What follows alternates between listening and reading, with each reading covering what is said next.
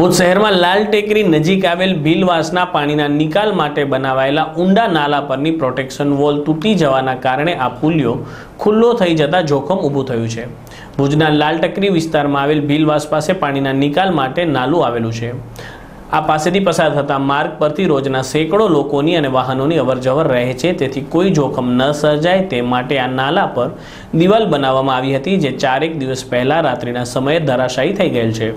આ દિવાલ કઈ રીતે ધરાશાયી થયેલ છે તે આ વિસ્તારના લોકો જાણતા નથી, પરંતુ આ દિવાલ ધરાશાયી થવાના કારણે આ વિસ્તારમાંથી પસાર થતા વાહનો અને લોકો માટે જોખમ તોડાઈ રહ્યું છે. વળી આ દિવાલ તૂટી જવાના કારણે હવે લોકો માટે જાણે કચરા પેટીની સગવડ ઊભી થઈ ગઈ છે, તેમ લોકો કચરો પણ આ નાલામાં જ પધરાવી રહ્યા છે, જેના કારણે ગંદકી ફેલાઈ રહી છે.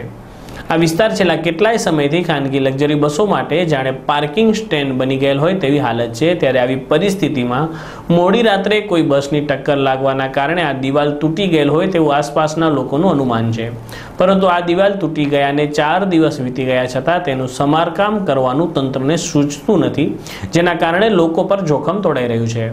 આ નાલા પરની દીવાર એટલી ઊંચી હતી કે અહીંથી પસાર થતા લોકોને આ દિવાલની પાછળ નાલું આવેલ છે તેની ખબર પણ પડતી ન હતી.